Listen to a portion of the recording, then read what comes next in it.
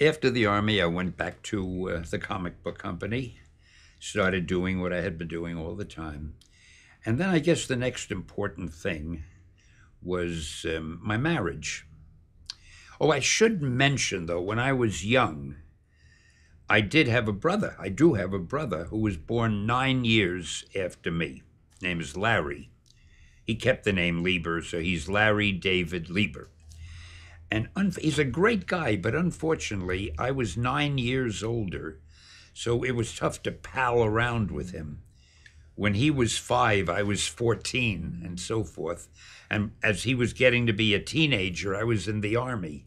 So I never got to know him that well, which is a shame. I wish there hadn't been as much time lapse between us. And I'll get back to Larry later. So um, I wanted to get married. I loved girls. I loved dating.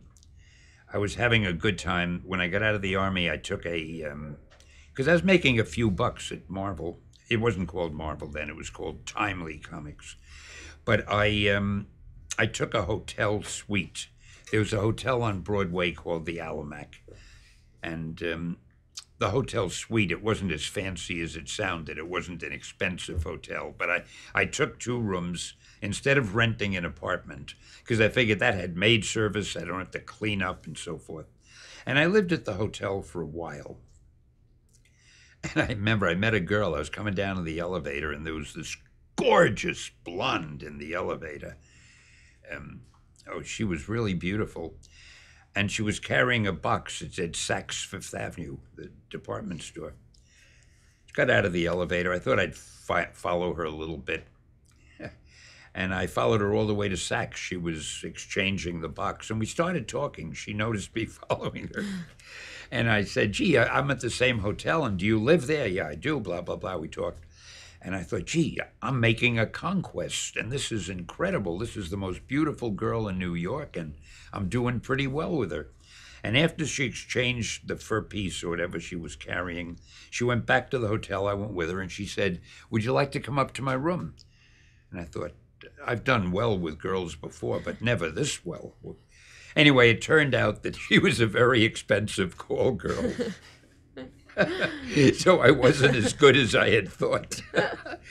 but we did become very friendly. And after a while, she would sometimes knock on my door, three o'clock in the morning after a date. Mm-hmm. And she said, Stan, can I stay with you? I'm all mixed up and I had a lousy evening. I just want to talk. And after a while, we had, it was like a brother sister relationship. We became friends. And I learned more about sex from the stories she would tell me about the things that men asked her to do, things I never knew were possible.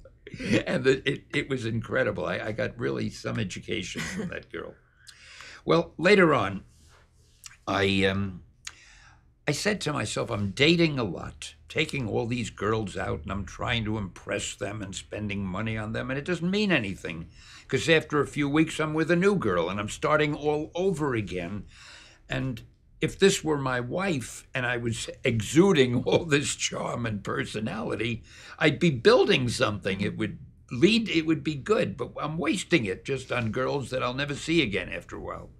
So I really wanted to get married couldn't find anybody that seemed right.